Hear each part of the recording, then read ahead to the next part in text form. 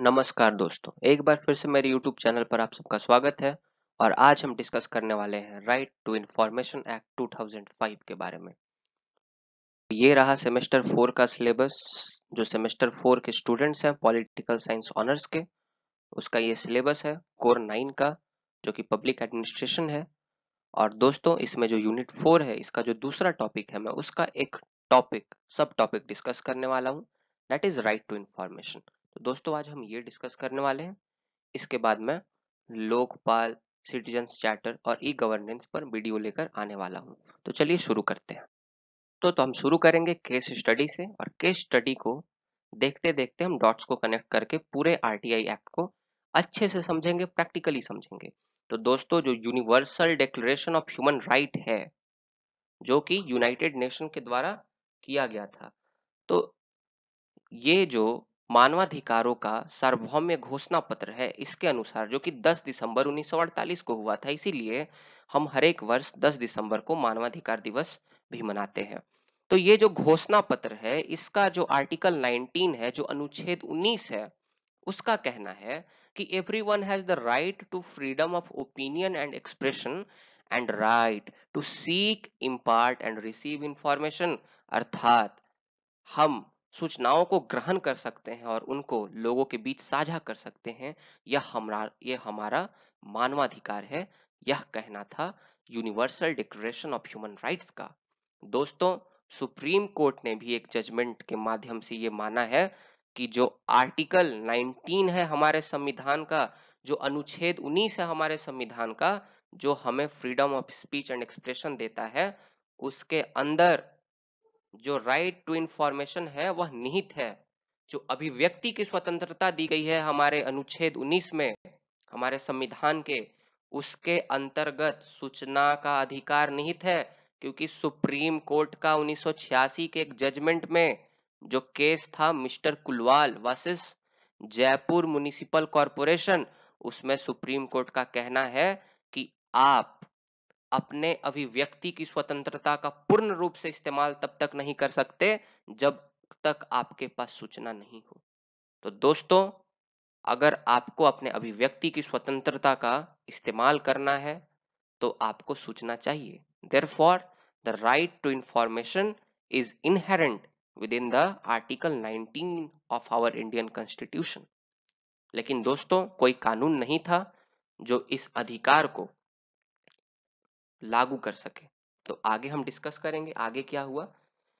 तो दोस्तों, एक संगठन था, एक ऑर्गेनाइजेशन था, जिसको बनाया था इन लोगों ने, निखिल डे, शंकर सिंह एटसेट्रा ये संगठन का नाम था मजदूर किसान शक्ति संगठन।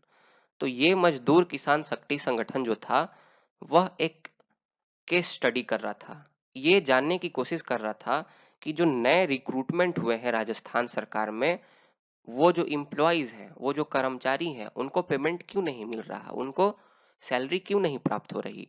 तो ये लोग और ये संगठन जाकर पता करने की कोशिश करता है और राजस्थान सरकार से कहता है कि हमें जानकारी चाहिए कि क्या यह कारण है जिसके कारण जो नए रिक्रूटमेंट्स हुए हैं आपकी सरकार में उन्हें सैलरी नहीं मिल रही। राजस्थान गवर्नमेंट सूचना देने से मना कर देती है। और ये जो संगठन है, यह एक स्ट्राइक लॉन्च करता है राजस्थान में अप्रैल उन्नीस सौ छियानबे में। और यह स्ट्राइक देखते देखते पूरे देश में काफ़ी पॉपुलर हो जाता है। और ये जो स्ट्राइक है, यह एक आंदोलन का रूप ले लेता है। और इनका स्लोगन होता है we will live we will know we will live अर्थात हम जानेंगे, हम जिएँगे। तो दोस्तों, इसके बाद और इस आंदोलन के परिणाम स्वरूप कई सारी राज्य सरकारें आरटीआई एक्ट को पास कर देती है, जिसमें से तमिलनाडु की सरकार होती है, राजस्थान की सरकार होती है और मध्य प्रदेश की सरकार होती है। लेकिन यह आरटीआई एक्ट अभी भी पूरे देश में लागू नहीं होता। पार्लियामेंट को फील होता है कि ये सच में बहुत ही अच्छा एक्ट है। हमें इसे पास करना चाहिए और पूरे देश में इसे लागू करना चाहिए, इसलिए पार्लियामेंट भी 2005 में right to information act pass कर देती है। पार्लियामेंट का ऑब्जेक्टिव क्या होता है इस एक्ट को पास करने से? तो फ्री एंड ट्रांसपेरेंट गवर्नेंस। दूसरा जो ऑब्जेक्टिव है दैट इज़ इंपावरिंग सिटीजन्स जो नागरिक है, नागरिक को शक्ति देना। तीसरा, जो जनता की भागीदारी है, जनता की भागीदारी को बढ़ाना। और चौथा चौथा पब्लिक अथॉरिटी पे निगरानी रखना। तो ये पॉलिटिकल जो अथॉरिटी है, जो इस एक्ट में डिफाइन है, वह क्या है? हम आगे की स्लाइड में डिस्कस करने वाले हैं। अभी हमें ये जानना है कि ये एक्ट इन पब्लिक अथॉरिटी को कहता है कि इन पब्लिक अथॉरिटी का दायित्व है कि वह सभी रिकॉर्ड्स को मेंटेन करके रखें आइदर बाय कैटेलॉगिंग और इंडेक्सिंग कैटेलॉगिंग और इंडेक्सिंग का मतलब होता है इस तरह से रिकॉर्ड्स को मेंटेन करके रखना कि अब आप जब चाहें उसे आसानी से ढूंढ सके। जैसे में लाइब्रेरियन जो पुस्तकें होती है लाइब्रेरी में, उसे कैटेलॉगिंग और इंडेक्सिंग करके रखता है। वह जब चाहे, जिस पुस्तक को चाहे, कभी भी ढूंढ सकता है। इस प्रकार से उसके पास रिकॉर्ड्स मेंटेन रहते हैं। तो इसी प्रकार से पब्लिक अथॉरिटी का यह दायित्व होता है। यह एक्ट कहता है पब्लिक अथॉरिटीज से कि आपका यह दायित्व है कि आप रिकॉर्ड्स को मेंटेन करके रखें। और अगर पॉसिबल हो तो इन रिकॉर्ड्स को कंप्यूटराइज कर दें ताकि जनता इसे एक्सेस कर सके। तो पब्लिक अथॉरिटी जो डिफाइन है, वह क्या है? तो पब्लिक अथॉरिटी एनी अथॉरिटी कोई भी अथॉरिटी जो कि संविधान के द्वारा स्टैब्लिश की गई हो, जैसे इलेक्शन कमीशन ऑफ़ इंडिया, जैसे में यूपीएससी, कोई भी अथॉरिटी जो कि पार्लियामेंट के द्वारा या स्टेट लेजिस्लेचर के द्वारा स्टैब्लिश की गई हो। पार्लियामेंट के द्वारा स्टैब्लिश की गई अथॉरिटी का एग्ज़ाम्पल है, जैसे ट्राई ले सकते हैं, सेबी ले सकते हैं, जैसे सीबीसी ले सकते हैं और भी बहुत सारा। और साथ ही साथ पीएसयू जो पब्लिक सेक्टर अंडरटेकिंग्स हैं, जो कंपनीज़ हैं, जो सरकारी कंपनी है, वो भी पब्लिक जो अथॉरिटी है, इसके डेफिनेशन में आती हैं और स्टेट लेजिस्लेचर के द्वारा कोई भी एक क्रिएटेड बॉडी जैसे मैं आपके स्टेट का जो इलेक्ट्रिसिटी बोर्ड है, वह भी इसके अंतर्गत आ सकता है, एक एग्ज़ाम्पल है उसका। और दोस्तों, इस पब्लिक अथॉरिटी के अंतर्गत वह सब नॉन गवर्नमेंटल ऑर्गेनाइजेशंस आएँगी जो सरकार के द्वारा फंड प्राप्त करती हैं, पैसे प्राप्त करती हैं। लेकिन दोस्तों एक चीज़ हमें ध्यान रखना चाहिए कि पब्लिक अथॉरिटी के डेफिनेशन के अंतर्गत पॉलिटिकल पार्टीज़ नहीं आती। और अभी डिबेट चल रहा है कि पॉलिटिकल पार्टी को राइट टू इंफॉर्मेशन के परव्यू में लाया जाए ताकि हम उनके बारे में जानकारी प्राप्त कर सके कि इन्हें डोनेशन मिलता कहाँ से है। पर पॉलिटिकल पार्टी इसके लिए रा, राज़ी नहीं हो रही। और पार्लियामेंट में सरकार भी तो भाई पॉलिटिकल पार्टीज़ की होती है। अब इस पे कभी बाद में डिस्कशन करते हैं। तो दोस्तों, ये पूरा का पूरा हो गया कि पॉलिटिकल अथॉरिटी क्या है। आगे है।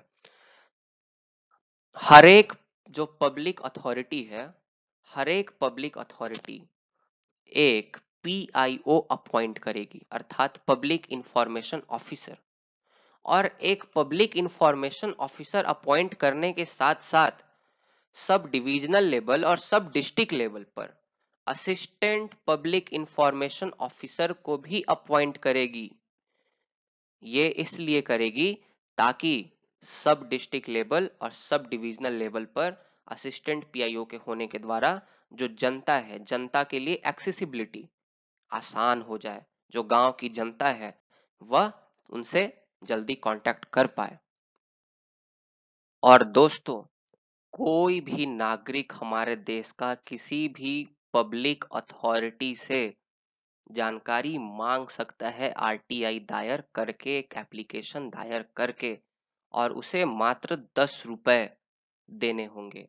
और अगर वह व्यक्ति बीपीएल फैमिली से बिलोंग करता है तो उसे कोई भी धनराशि नहीं देनी पड़ेगी। और दोस्तों, जिस पब्लिक अथॉरिटी में एप्लीकेशन आई है उस पब्लिक अथॉरिटी के पब्लिक इंफॉर्मेशन ऑफिसर का दायित्व बनता है कि उस व्यक्ति को जानकारी 30 दिनों के अंदर प्राप्त हो।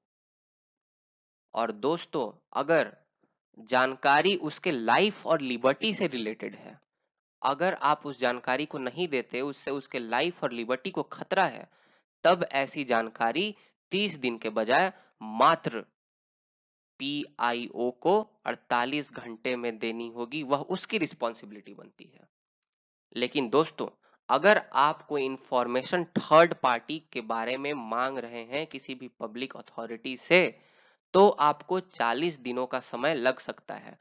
फॉर एग्ज़ाम्पल अगर आप यूपीएससी के पास एप्लीकेशन दायर करते हैं और कहते हैं मैं जो फ़र्स्ट टॉपर है यूपीएससी का, मैं उसकी कॉपी को देखना चाहता हूँ कि उसके कॉपी को कैसे चेक किया गया है, उसका मार्क्स इवेल्युएशन कैसे हुआ है।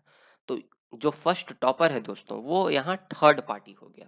तो इस केस में आपको 40 दिन में इंफॉर्मेशन दी जाएगी। अगर आप अपने कॉपी की जानकारी मांगते हैं, तब तो 30 दिन में आपको मिल जाएगी, पर थर्ड पार्टी के बारे में आप कोई भी जानकारी मांगते हैं तो 40 दिन लगेंगे। दोस्तों, एक और कंडीशन है।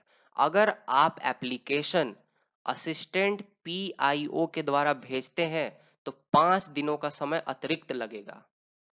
साथ ही साथ, अगर आप एप्लीकेशन रॉन्ग पब्लिक अथॉरिटी को भेजते हैं तो दो कंडीशन हो सकती है। जैसे एग्ज़ाम्पल के तौर पर, मुझे भेजना चाहिए था, अगर कॉपी मांगना है तो यूपीएससी को भेजना चाहिए था मुझे एप्लीकेशन मैंने भेज दिया इलेक्शन कमीशन ऑफ़ इंडिया को। तो यहाँ से दो कंडीशन अराइज होंगी, दो केसेस हो सकती हैं। सबसे पहला, तीस दिन में मेरे पास लिखकर ईसीआई e भेज दे जो जो इलेक्शन कमीशन है, कि मैं कंसर्न अथॉरिटी नहीं हूँ, मैं इस जानकारी से रिलेटेड नहीं हूँ तो रिफ्यूज हो गया, मेरा जो आरटीआई है। दूसरा कंडीशन ये हो सकता है कि ईसीआई e जो है, इस एप्लीकेशन को यूपीएससी को ट्रांसफ़र कर दे। तो इस केस में भी आपको पाँच दिन की देरी हो सकती है। तो दोस्तों, पाँच दिन ऐड हो जाएँगे। और अगर इसी तरह से आपका लाइफ और लिबर्टी का कोई भी केस है, लेकिन आप इंफॉर्मेशन को सीख कर रहे हैं थ्रू असिस्टेंट पीआईओ और through a wrong public authority तो यही केस होगा जो 48 घंटा का जो टाइम है, उसमें पाँच दिन फिर से ऐड हो जाएगा। तो मैंने यही चीज़ लिखा है। अगर दोस्तों पब्लिक इंफॉर्मेशन ऑफिसर आपका एप्लीकेशन एक्सेप्ट नहीं करता या फिर इंफॉर्मेशन देने में समय लगाता है, देरी करता है, बिना किसी कारण के, या फिर इनकम्प्लीट इंफॉर्मेशन या फिर गलत इंफॉर्मेशन आपको प्रोवाइड करता है तो दोस्तों, उसको फाइन किया जाएगा दो रुपए रोज और ये फाइन मैक्सिमम पच्चीस हज़ार तक उस पर लग सकता है। साथ ही साथ, यह पब्लिक इंफॉर्मेशन ऑफिसर का दायित्व है कि वह जो इंफॉर्मेशन है, वह राइटिंग में आपको दे। इसमें राइटिंग में आपको ईमेल में भी लिखकर दे सकता है, ये कंडीशन है यहाँ पे, पर राइटिंग में होनी चाहिए भाई। आप मेल से भेजो, आप पोस्ट से भेजो, उससे कोई मतलब नहीं। लेकिन दोस्तों, इसमें भी कुछ एक्सेप्शंस हैं। आपको कुछ कुछ जानकारियाँ नहीं दी जाएँगी। वह कौन कौन सी जानकारी है? तो पहली ऐसी जानकारी है, जो कि देश के सिक्योरिटी और इंटीग्रिटी से रिलेटेड है। तो अगर आप कोई ऐसी जानकारी मांग रहे हैं, जो देश के सिक्योरिटी और इंटीग्रिटी से रिलेटेड है तो ऐसी जानकारी आपको आरटीआई के थ्रू नहीं दी जाएगी। जो कैबिनेट मीटिंग होती है, उसका जो इंफॉर्मेशन है, वह आपको प्रोवाइड नहीं कराया जाएगा।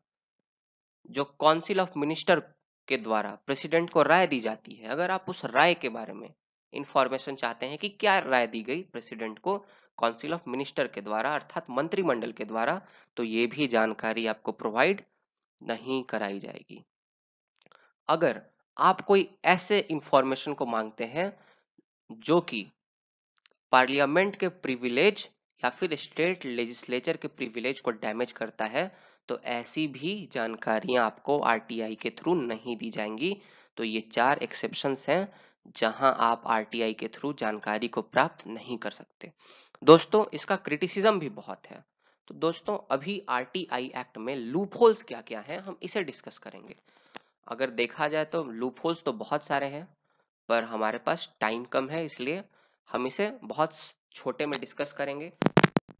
फोर में से क्वेश्चन आएगा, वो शॉर्ट शॉर्ट नोट से आएगा। इसमें फुल फ्लेज्ड क्वेश्चन नहीं आता है तो इसलिए टेंशन लेने की ज़रूरत नहीं है। तो सबसे पहला जो क्रिटिसिज्म है कि इंफॉर्मेशन प्रोवाइड करने में बहुत ही समय लगता है। ये लिखा हुआ है कि भैया हम उसे फाइन कर सकते हैं, पर ये प्रैक्टिकली देखा नहीं जाता है। और अभी अगर बात करें तो 23 जो राज्य है 23 राज्यों का जो स्टेट इंफॉर्मेशन कमीशन है, वहाँ 20 लाख से अधिक आरटीआई के केसेस और एप्लीकेशंस पेंडिंग है। दोस्तों आरटीआई के द्वारा हमेशा इनसफिशियंट इंफॉर्मेशन प्रोवाइड किया जाता है और लोग उससे सेटिस्फाई नहीं होते।